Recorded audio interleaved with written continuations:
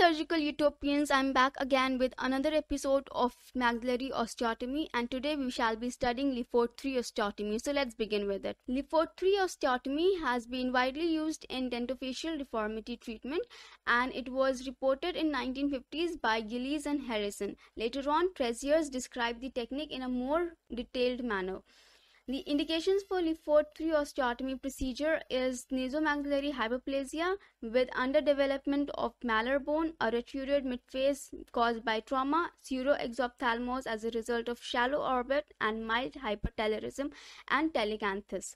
So telecanthus is the increased distance between the medial canthus of the eye without involving the interpupillary distance and hypertelorism is an overall increased distance between the eyes.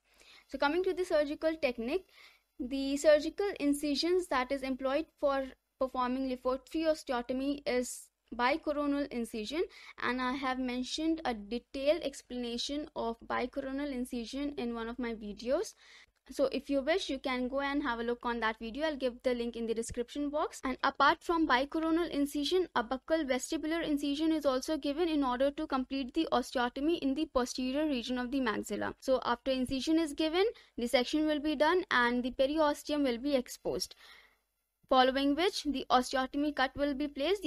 A vertical osteotomy will be given on the zygomatic arch. The frontozygomatic suture is identified and an osteotomy is begun to separate the lateral orbital wall from the suture area inferiorly to the infraorbital fissure at a depth for approximately 1 centimeter from the orbital rim. After this, the frontonasal suture is identified and the osteotomy cut is placed inferior to the cribriform plate of the ethmoid bone. This procedure is carried out bilaterally and after it is completed bilaterally, then the posterior wall of the maxilla and the pterygoid plates are approached through the horizontal subperiosteal incision. The pterygoid plate is sectioned at the posterior maxillary wall and finally the osteotomy is done for the separation of the vomer bone. This is done with a thin osteotome placed at the nasofrontal osteotomy and directed inferiorly and posteriorly in direction. Following which the Rowe's disimpaction forceps are used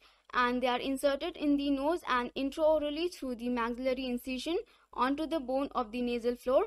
Then a downward force with adequate head stabilization is given and this force is applied in a downward, anterior and rotatory motion in order to completely free the face. Once the middle face is adequately mobilized, it should be advanced to a predetermined position using the prefabricated occlusal splints as a reference or as a guide. Finally, the stabilization is achieved by placing bone plates that is placed at the zygomatic arch and the lateral orbital rim region and an additional plate can be placed at the nasofrontal region. The bone defects that has been created can be filled with grafts harvested from the cranium bone or from the ilium. Finally, closure is done.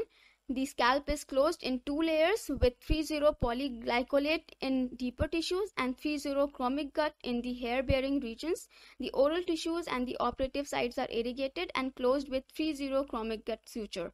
Then a forced duction test of the globe is done bilaterally to ensure eye mobility. So this was the surgical procedure for Le Fort 3 osteotomy and the complications associated with this is the blindness and death and therefore it should be considered only in specific cases in which it is impossible to resolve the patient's deformity and complaints with other less complex techniques. Other factors that should be considered are that the patient should be in good physical condition to support the procedure due to prolonged operative time and extensive blood loss. So with this we come to the end of this video. I hope you guys liked it. Stay tuned to Surgical Utopia for more such videos and I'll see you in the next video. It's a wrap for now. Bye bye till then and take care.